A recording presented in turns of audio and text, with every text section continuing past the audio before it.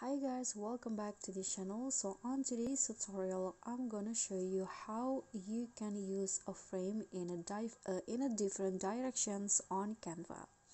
So here i'm going to add this uh, photo into this frame but i want to make it uh the make the frame horizontal like this uh, vertical i mean. So i'm going to rotate the frame first and adjust the size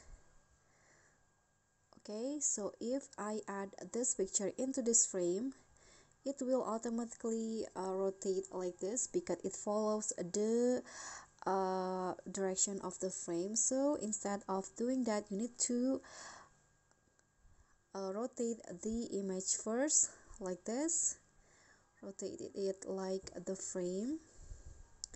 And after that drag the image into the frame. Oops okay I think I need to rotate it in a different direction.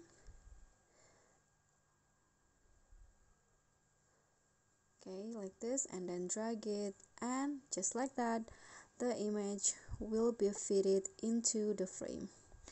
Okay so that's all for me. Thank you guys so much for watching. Please don't forget to subscribe like this video comment and also click on the thanks below. Bye